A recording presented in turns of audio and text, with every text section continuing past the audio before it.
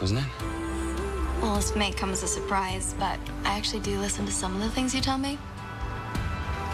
You just have to pay attention to the details. Yeah, well, I told you the first time we met. You have the sight. You're a shadow hunter, just like the rest of us. Awesome. That's love, bitch.